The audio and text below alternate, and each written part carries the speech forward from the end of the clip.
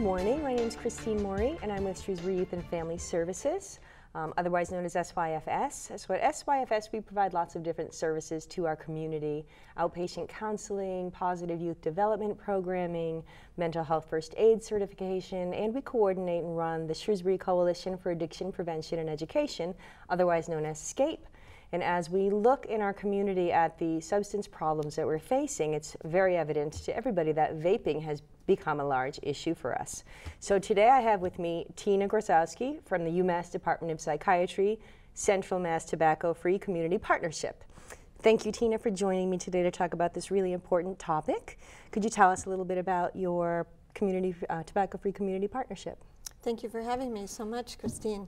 Uh, the Central Mass Tobacco Free Community Partnership is a grant-funded program from the State Department of Public Health uh, at UMass Medical School. There's seven other community partnerships around the state by region that work on uh, reducing smoking and secondhand smoke um, by uh, working on policies at the local level and regulations, and we'll talk some more about that as we as we go along, I'm sure. And uh, we work to provide resources to help ad adults quit smoking, and more recently, uh, resources with uh, uh, to address the vaping epidemic that the Surgeon General has named it um, in um, in Massachusetts. Sure. So that announcement came in December in 2018, correct? Yes. Um, and it sounds like um, increase in e-cigarette use is the largest one spike of any kind in the 44 years that substance use in youth data is being tracked. So we know and we, and we hear from parents and teachers and everywhere that it virtually seems like everybody is doing this. So um, if you could just start with telling us a little bit about what vaping even is. What is it? How is it delivered? What is in it? And um, let's start with that first of all. Yeah. So um, all electronic cigarettes have a battery in them that you uh, either turn on or charge. There's different um, disposable ones, there's rechargeable batteries. And, um, and then it has a cartridge with um, nicotine in a substance called propylene glycol. So when the, the glycol is heated up and then you inhale it, you get um, nicotine into your lungs and then you exhale. So they all have a battery, they all have uh, either a cartridge or a, um, a, a um, canister inside to put the oil in, and then when it's heated, you inhale it and you get the nicotine. So um, some old school um, electronic cigarettes would look like this. Um, most young people are not using these nowadays. This has a battery in it and um, it, has an, it had an on and off switch. And then um, it's purple because it's flavored. The other really enticing component to um, electronic cigarettes for youth nowadays is the flavors. And the flavors are what make it so attractive to young people. So this is a Juul a device, which is the most popular um, electronic cigarette that youth are using now. It was started by a couple of men in Silicon Valley who wanted to make a device that was high-tech to help adults quit smoking. But it became really popular for many reasons. The flavor pods that go with it uh, being one of them. So in, instead of having a cartridge that's inside the pod, you buy the cartridge separately, and it's so called that, a that looks like just pod. like a little USB. That looks like a little USB. And the Juul itself looks like a USB. And then it comes with what, again, also looks like a USB to charge it. So it's magnetized, and you put this into your laptop or computer, and you charge it up. When it's charged, then you insert the flavor pod into the device, and then you inhale from it, and then you get the nicotine. Again, the flavoring is the other disturbing component of this product, and, and this is the second important takeaway. The first being the propylene glycol. It's not water vapor, so we really want parents and other adults to understand that. The second is the flavoring. So, you know, what I say in my presentations is, is this fresh mango juice from Market Basket in the flavor pod? And obviously it isn't. So how do they get this great flavor? Using a chemical called diacetyl. And diacetyl is the flavoring that used to be used in microwave popcorn that um, when, when heated up created that amazing flavor that makes you want to eat the whole bag of microwave popcorn until the FDA came into the companies and uh, saw that because of research that was happening, the um, discovery that the microwave popcorn workers were getting very ill, especially with lung. um, Popcorn lung. and that was the syndrome name that they were giving to it popcorn lung, exactly. Bronchitis, respiratory infections, and even some cell anomalies when they would look at the cell development in the lungs of the workers. So the FDA said, well, you can't use diacetyl anymore in the factories. So where they're using diacetyl now is in all of these electronic devices because they're not regulated by the FDA. And that's probably the third most important uh, piece of information. They're not a regulated product except for by age, which is important. Okay, so if a parent that's unfamiliar with these products would very easily mistake this for a USB drive. So I think the takeaway from this conversation is the most important thing that parents can really do is to familiarize themselves with Yes. the um, with the devices that are delivering these chemicals um, to our kids. So um, is is this safer than smoking combustible cigarettes? Well, what we say is that they're less harmful than combustible cigarettes. We know the harm from combustible cigarettes, there's no refuting that. We don't have long term data on these devices because they've only been around a short while. Um, since there's no burning combust- there's no com- burning combustion in them, it's not producing the tar, which is what it causes the um, lung cancers um, in um, from combustible cigarettes. But uh, the devices themselves have trace chemicals in them. They produce some uh, um, carcinogens. And again, in the long term, we know carcinogens can lead to um, cancers. So, what we say it's less harmful than combustible cigarettes, but they're not harmless. Okay, so let's talk about nicotine because we know that nicotine is a highly, highly addictive substance, one of the most addictive substances, especially um, when introduced to an adolescent developing brain. Um, so I think there's a sort of an idea out there that this contains less nicotine than cigarettes and that it's safer, or, or youth believe that they're not harming themselves. So tell me a little bit about how much nicotine is delivered in these pods. Yes, so in the Juul, it says right on the box, um, on the packaging, that each Juul pod, which is one of the little flavor pods, contains as much nicotine as 20 cigarettes, which is a pack of cigarettes. So that's a lot of nicotine even for an adult to use over the course of a day, but for an adolescent, it's really a lot of nicotine because, as you uh, mentioned, the adolescent brain is still growing and developing, and introducing nicotine into it um, leads to um, uh, you know, the research has shown it can lead to uh, disruption in brain circuitry. It leads kids not to be able to focus, to be able to pay attention, follow directions, which is what you want your child to be able to do to be a good learner in school. And it also fundamentally teaches the brain how to become addicted. If it's introduced as the first addictive substance into the brain, the brain learns how to become addictive. And then, just like any other um, uh, element that's introduced in the reward system of the brain, it fires it off and it feels good. So, similarly to fat, sugar, um, caffeine, um, then the brain says it wants more of it, and that's the addiction process then starts. So, then we do know that um, young teens do go on to use other drugs, especially now marijuana since it's so prevalent, and the brain has learned to become uh, used to using drugs and become addicted to using drugs in a very short time. So is it possible to vape marijuana in a Juul? It is possible to vape marijuana in a Juul. You can go online and Google how do I turn my Juul into a dab pen. Dab pen is the name of the uh, vape pen that is used for um, vaping liquid THC. As you know, THC is the element in marijuana that is um, the what gets you high, and um, you can buy it also in pods in um, a formulation of glycol, and then you can uh, uh, put the device into cartridges or dab pens and vape it the same. Now, these just are so different from combustible cigarettes because they do not produce secondhand smoke. They do not smell like combustible cigarettes. So when you see a cloud of, of the secondhand um, aerosolized oil that looks like secondhand smoke, but it has no smell like secondhand smoke, there is a kind of a fruity, musky scent that comes off the device. the similarly with um, the dab pen, um, there is no scent of your typical marijuana joint that you know parents nowadays uh, may have used in when they were in college. So that the other reason why these devices are so popular is that they're so disguisable in school. So as you mentioned, they all look so similar to flash drives.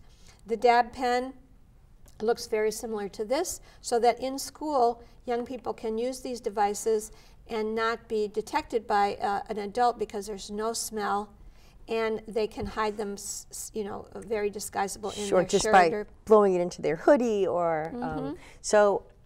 Are there other products um, out there that deliver this with a? I, I've heard that there are products that deliver an almost no um, snow vapor cloud at all. Yes, there's some that do that, but you don't have to make the big vapor cloud. So teens can inhale the from the device and sort of basically kind of swallow the, you know, um, aerosolized oil, or as you say, just blow it down into their sleeve, blow it, or shirt, blow it into their sleeve, and it doesn't have to produce that big cloud. There's even, I've seen ads for sweatshirts that have the strings, on strings, the I've hood seen those as well. attached that have a device inside that you can um, inhale through the strings as a tube um, the um, nicotine or liquid THC. So, um, you know, it's a way to deliver um, a drug, whether it's nicotine or THC, and it's profitable. So um, someone can make money off of it. So one in three 12th graders now are reporting using a vaping device. It, are there devices out there? Many people believe that there are that don't contain nicotine that are just flavor. Well, none of the um, manufactured um, Juul or the other e-cigarettes that you buy in a convenience store or online uh, have no nicotine in them. They all have some nicotine, and obviously the Juul has the most nicotine. And it's also a formulation of nicotine called nicotine salts that delivers a real hit really quickly to the brain.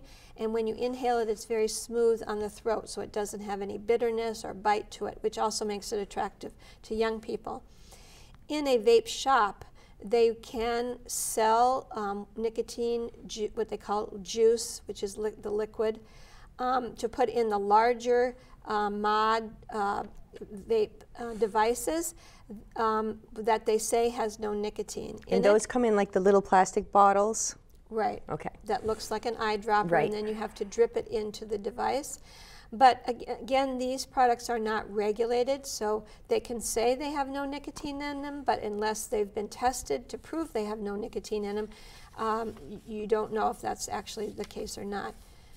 So let's talk a little bit about regulation and why this isn't. How did this happen that Juul was able to come out with this product and market it so aggressively towards young people when it was Right. initially designed for an adult? Yes. When these products first became on the market a couple of years ago, the Juul uh, company said they were making this high tech device to help adults quit smoking, and it was supposed to be aimed at adults.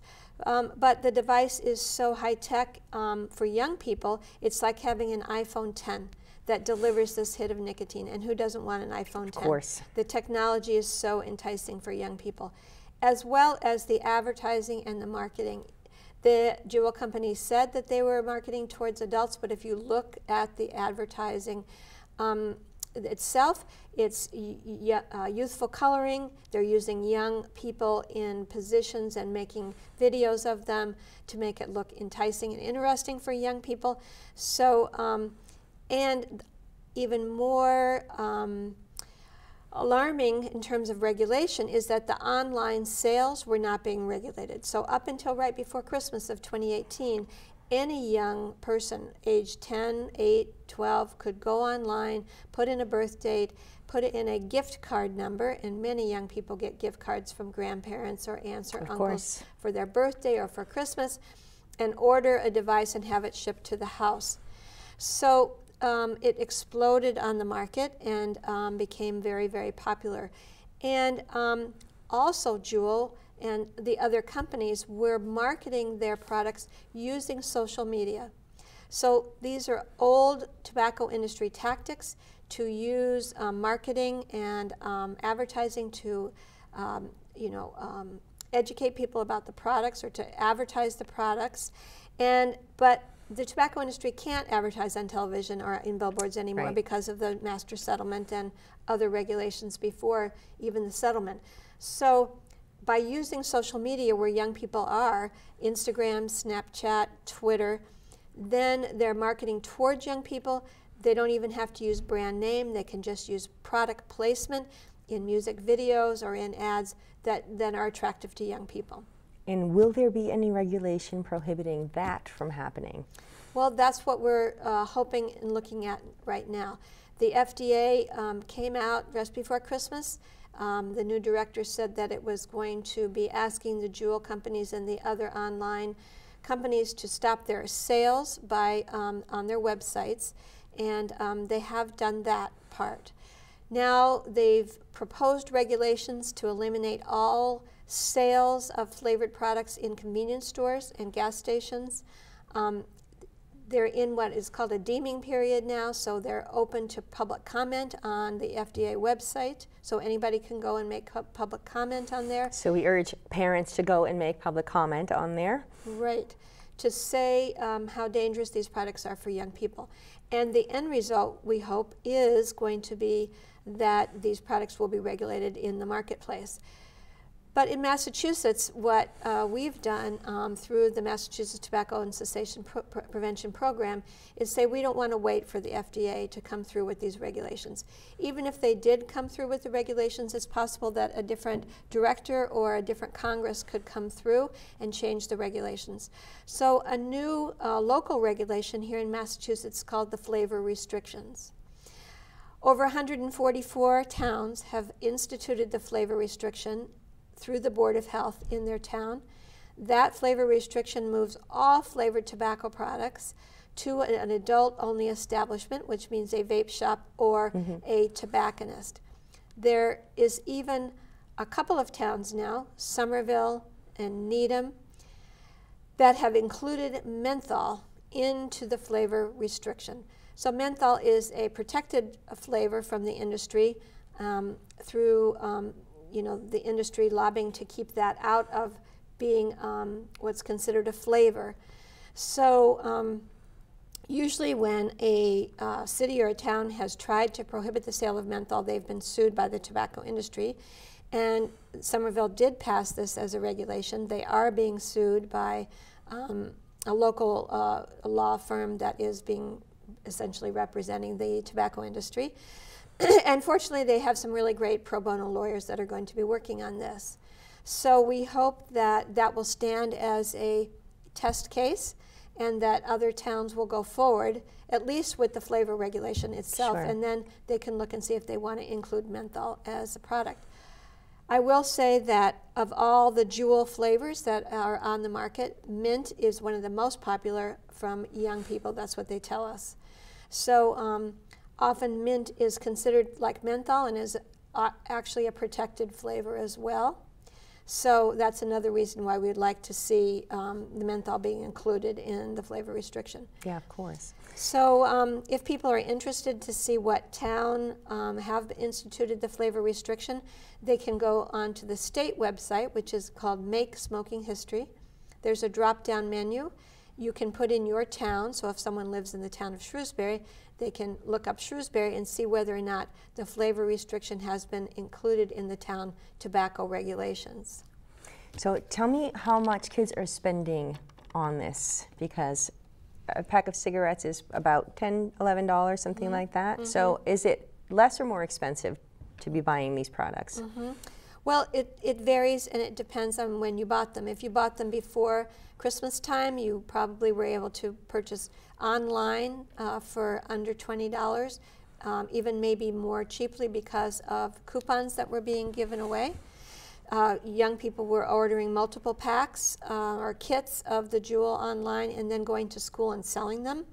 If you remember, we talked about how much nicotine is in a flavor pod it's equivalent to one pack of cigarettes. So the, the flavor pods in Juul come in a pack of four, and they are um, sold separately from the Juul in a kit for between eight to ten dollars. So for the same pack price as a pack of cigarettes, $10, you can get the equivalent of $40 worth of nicotine with the Juul itself. So um, young people are spending money on these products, but they're also able to get them at um, reduced prices, at, at, least up until recently. And on average, I don't know if you know the answer to this, but how many of these Juul pods would we see a young person going through daily? And what they tell us in our research is that they will use at least one pod throughout the day because they can use it at school right. surreptitiously, and then maybe even start on a second one when they get home or after school. They also, so that's again equivalent to a, a pack of nicotine sure. worth of, of, of um, Juul. They also share them a lot. You know, um, many high schools have been reporting to us that, like in the old days when um, young teens um, in high school would go and use the bathroom to smoke in. Young teens will go into the bathroom now and use their Juul and share them among each other. So, just from a public health standpoint, we know that's a concern. Um, but then um, they're um, being able to use the bathroom as a place where they go and use Juuls. So, then again, they're using up uh, more of the pod and sharing it with each other. And so Juul is the most popular. We know that. Are there other products that are coming on the market now that parents need to be familiar with? Sure. So once the tobacco industry recognized that the Juul was so popular, they decided started to make their own brands of similar devices. So this is from um, one of the major tobacco companies. It's called blu. And the kit itself um, comes with the device, which, as you can see, looks very similar to the Juul, a little bit bigger and it also has its own flavor pod of uh, oil that you can see as, leaked here. And um, then it has a charging device it's, itself. As far as price, these are cheaper than um, the Juul device. You probably can get one for under $20. There's another product called Bow, which again, very similar in shape and size. They're coming out with new products all the time. There's some that look like um, cell phones, there's some that look like credit cards. There's some. There's a new product called a Suorin, Suorin Drop, and um, we have photos of those that we'll share um, on the uh, online with the viewers um, on the video. So um, these products are um, changing all the time, which is how the tobacco industry has always um, worked in the industry, coming up with new products that they're enticing to, to people through advertising. So we, we don't have a whole lot of time left, and you know what I really want to talk about before you leave us is what can parents do to protect their children, to help their children once they're addicted, because what's happened, unfortunately, is that we now have a generation of kids that are addicted. So responding uh, in a purely punitive fashion really isn't effective because we need to help with treatment to get these kids um, to break this habit. Yes. That's a really great question. Um, right now, we're um, trying to encourage scientists to do research on this topic. There is no best practice for how to help a young person quit vaping. There are some protocols that were developed to help young people quit smoking, and those were taught to school nurses, uh, had some training on how to help young people quit smoking. So we're hoping that that will be um, you know, modified to include vaping now if I were as a parent, I would say um, that what the best thing to do if you think your child is addicted to nicotine is have them see your pediatrician or a primary care provider. Um, to talk to the provider about um, what is the effect of nicotine for a young person and educate them on what's happening for them. Many young people are realizing that if they're going to the bathroom every hour on the hour to use the Juul device, that means they are addicted to the device. It's an educational process. Um, and um, we are lucky because there is a nation, uh, a national organization called the Truth Initiative that was started after the master settlement um, to educate people about um, teen and adolescent smoking that has now come forward with some um, teen uh, vaping cessation um, platforms, and especially because they're online platforms and use uh, the uh, phone, which we know where young people are at now.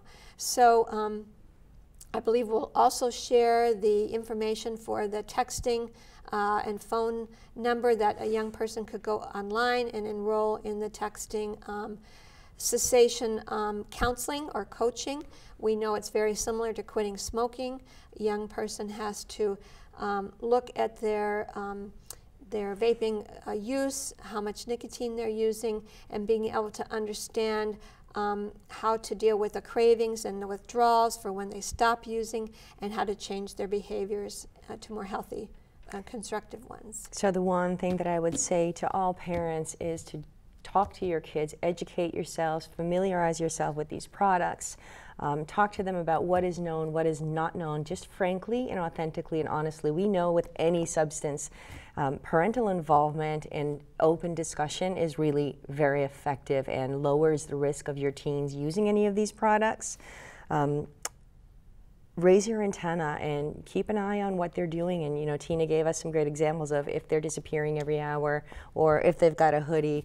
Um, just pay attention and have open conversations. As always, Shrewsbury Youth and Family Services is here. Um, Tina, I, I can connect you with Tina for questions or presentations for parent groups. And people can look on the new website, which is called Get Outraged, which we hope people are outraged about this pro problem. Um, getoutraged.org that has lots of information for parents and community members. It has um, frequently asked questions. It has how you can talk to your young person about vaping. And it has uh, information for cessation as well. There's a school toolkit for schools for curriculum on vaping prevention. So it's a very nice, robust website that's on getoutraged.org. Okay, is there anything else that you think is really important for parents or families to know out there before we wrap up? Well, I would say, um, again, looking at um, policy in the lo local communities because you can um, institute programs, you can have educational curriculum in your high school, but we've seen from research that local policy leads to statewide policy, and statewide policy together with local policy really um, puts in a framework for regulations that limits the youth access to these products. So um, you may know that the state recently passed a new regulation to increase the sales age to 21 for tobacco yes. and um, in, in included that with um, no sales of tobacco in any pharmacies starting the January 1st and also includes vaping in the smoke-free workplace law. All that work was started at the local level, town by town. So the more parents and community members can get involved in local policy and regulations. It changes the built environment in which young people grow up and, and live in. Tell us the website one more time where parents can go. GetOutraged.org. GetOutraged.org. Please visit the website. Um, contact us at Shrewsbury Youth and Family Services at syfs ma.org or at 508-845-6932 with any questions or concerns. We're always here to help you and your family stay healthy. Thank you so much, Tina, for joining us today. I think this is really important information to get out into the community, and we appreciate our partnership. Thank you for having me. Thank you.